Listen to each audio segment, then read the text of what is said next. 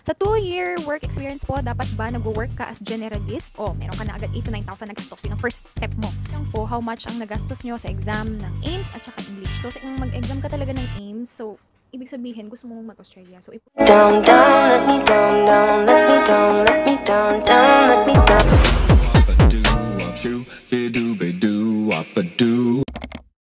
Hi mga Repa Peeps! So, andito na naman tayo for another video. Dahil meron na naman akong i-vlog ngayon kasi sasagutin ko yung mga katanungan nyo. About sa exam na handwritten, what type pong exam? What type po ang exam? So, ang mga types ng exam doon ay, ay um, essay, uh, enumeration, identification, transcribe, boss. Meron ding multiple choice. Siguro mga dalawa, tatlo. Situational. Yun yung mga ah, tanong doon. Yung mga types of exam. Yung types of test. Types of questions. Ano ba? Ano ba tama? Hindi ko alam. Okay, ah, okay. Next, tanong ko po, if how long po yung duration ng exam? How long yung duration ng exam? Ibig sabihin mo ba gaano katagal yung exam per se? Will take 3 hours. So, 3 hours yung exam, tapos 3 hours yung exam. Nag-start ako nun mga 9 a.m. 9, 9, 10, 11, 12. Yeah, tama hanggang 12 yun. 9 a.m. Tapos after nun, 12, nag-video call na kami ng mga friends ko sa Skype. Okay. Nagtanungan kami, uy, anong sagot dito? Uy, anong sagot dito? Ito ba yung sinagot mo? Tapos pag may, nung may na-realize kaming may mali kami, OMG! Uy, nakaka-stress ko yun, sobra. Kung i-rate nyo po yung exam, anong level of difficulty every subject, saan dapat mag-focus? Okay, kung i-rate ko yung exam, alam nyo kasi kung hindi talaga tayo nagbasa, ganun, parang mahirap lahat. Hindi. Alam nyo kasi, nung time ko, para sa akin, ang pinakamahirap is yung clinical chemistry tsaka blood banking. Yun, alam, yung blood banking ba? Oo. Kasi dun sa, sa blood banking kasi mostly mga situationals doon. Sa clinical chemistry naman, mga ano, parang, mm, what is? O, ganyan. Um, mm, give me ganito. Ganyan. Example, yung mga, mo, nalala ko yung anterior pituitary gland tsaka posterior pituitary gland. Tinanong yun, give examples of hormones under anterior pituitary and posterior, eh, posterior pituitary gland. So, give two lang naman. Need mo, need mo po ba i-explain yung rationale mo after sagutin ang questions? Yes. Yung mga iba kailangan ng rationale. Yung iba naman, parang direct to the point lang. Kasi meron yung question doon na, alam mo kasing direct to the point lang. Kasi alam mong one blank lang siya. So, isa lang, hindi mo na kailangang mag-explain. Like, for example, sa ano ha, sa histopath, may tanong kasi doon na, what is the fixative used in cytological stain? O, di ba? Alam naman natin may mga, marami namang klaseng fixative. Pero may specific kasi yun. So, yun lang. Hindi mo na kailangang i- elaborate kasi makikita mo after ng question na yon magbibigay siya ng space kung saan ka sasagot one lang one lang so hindi mo na siya kailangang elaborate kasi nga one space lang hindi nakasya yung iba okay sa 2-year work experience po, dapat ba nag-work ka as generalist? Generalist na medtech sa Pilipinas? No, hindi naman kailangan, hindi na RTT Ames kap kung saan ka man trabaho. Basta at least medtech ka. Wait lang ha. Ayan.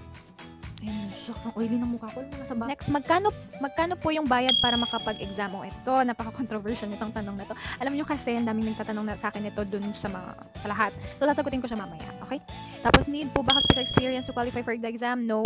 May idea po ba kayo if what will happen if di pinalad makapasa sa AIMS exam? Um, ang mangyayari dyan, kapag hindi ka pumasa, is um, i-require ka ni AIMS na mag-retake ng exam. So, hindi naman siya parang totally, ano, um, hindi ka na pwede mag-exam. Um, hi ma'am, ask ko lang po, nung nag-apply po kayo sa AIMS, buong syllabus po ba yung pinasa nyo or major subjects lang po? Wow, alam mo ate, na, nandun ka na sa stage kung saan, kung saan, wino-workout mo na talaga yung OC dream mo. Pero yes, oo.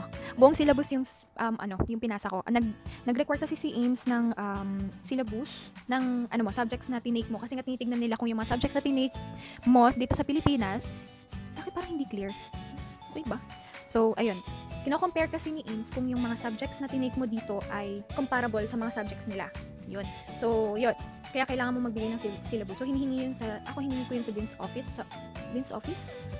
Oo. Or Registrar. Sa Dean's Office. Mm-mm, doon ko kinuha yun. In demand din po ba ang Medtex Australia? Yes. Meron akong nababalitaan na may mga uh, student doon na medtech na nung time na pandemic, na-hire sila as medtech. Ganun ka-in demand mga repa. Next, pang Australia lang po ba ang AIMS? No. Pwede rin, sa, eh, pwede rin siya sa New Zealand. Pero hanggang doon lang pala. So, Australia and New Zealand, ang alam ko yun lang. Yun lang ata. Oo. Ilang years po yung validity ng license mo or certificate sa AIMS? Okay. Kasi dun sa exam, eh, sa exam, dun sa certificate ko mismo or license ko, wala kasing nakalagay kung kailan ang expiry. Kaya nung una hindi ko rin alam, akala ko nga walang expiry. Nung tinanong ko yung mga mas nakakaalam, sabi nila 2 years daw. So right after passing the exam, kailangan mo nang um, i-work out yung mga appli- yung application mo for visa. Ganon. Kasi nga, um, since 2 years siya, at least before 2 years, makarating ka na sa Australia. So, eto, kapag mag kung mag-exam ka talaga ng AIMS, so, ibig sabihin, gusto mo mag-Australia. So, i-push mo talaga siya. Pero kung marami ka namang pera, marami ka namang pera, gusto mo lang mag-exam ng AIMS, pero ayaw pumunta ng Australia, okay lang naman. But, next, ito ang pinaka-controversial na question. Okay. Pang, ay, ano pa tawag nun? Ate, magkano po ba? Magkano po yung bayad para sa exam? I wonder lang po how much ang nagastos nyo sa exam ng AIMS at saka English. So, sa English exam, it varies kasi kung saan mo talaga gusto mag-exam. Ako kasi, um, ang tinik ko is PTE. PTE, Pearson, Pearson test. Around mga 8,000 something siya. 8 to 9,000. Oh, meron ka na agad 8 to 9,000 na gastos. Yun ang first step mo. Okay? Next naman, ang AIMS.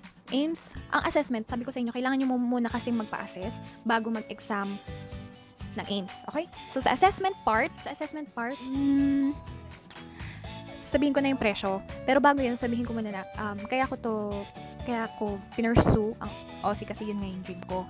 And at the same time, um, when I get to Australia, yung binayad ko dito sa exam na to, ay madali ko lang makukuha doon. So, yun na lang. Alam niyo guys, yun ang i-mindset nyo. Kasi maraming nagugulat. Like, for example, tinatanong nila, magkano bang mag-exam for AIMS? Tatanong nila ako personally. And sasabihin ko, and then magugulat sila, ah, mag-ESCP na lang ako. Yes, kasi nga 10,000. Yun, diba? Mga 10,000, 9,000, tama ba? 10, 9, mga ganun. Pero, diba, sinabi ko kanina na mas meron ako kakilala na mas mahal pa yung nagastos niya. mas mahal pa yung nagastos niya papuntang US kaysa sa nagastos ko sa AIMS. Kasi ang mahal lang naman kasi doon guys is yung exam. So, um, mag, so ako nag-invest talaga ako sa exam kasi afterwards naman yung processing and all, mura na lang siya guys. So, ang bayad, ito na nga. So, ang bayad ng assessment, guys, ay, so, ang bayad ng assessment, guys, is around 30,000. So, assessment pa lang yun. Okay? Next naman is, kapag na-assess ka na ni AIMS na, ah, ah, comparable yung um, curriculum mo sa curriculum namin as LabTech, as LabTech, as laboratory scientist, so, pwede ka nang mag-exam. So, kapag na-assess ka na ng ganon, bibigyan, actually, bibigyan ka ulit nila ng letter, sasendan ka nila ng letter, mail and email. Sabihin nila na you're eligible to take the AIMS. Okay? So, by then, magbabayad ka na ng pang-exam po, pa- pag-exam mo. Ang exam naman mismo ay 27,000. So, nag-range ka ng mga 57,000. Sabihin mo ng mga 60,000 ang budget mo for ano, for AIMS. And then after that, you just apply for visa. That's it. And then after visa, tada, alis ka na. Diba? Ganun lang doon kadali. Kasi nga, um, ang kagandahan kasi, pagdating natin doon, pwede tayo maging medtech agad-agad at maganda yung mga benefits na sinabi ko sa inyo. Sa mga nakilala ko doon, magandang buhay nila pare. Ay, maganda talaga buhay nila mga repa. Promise.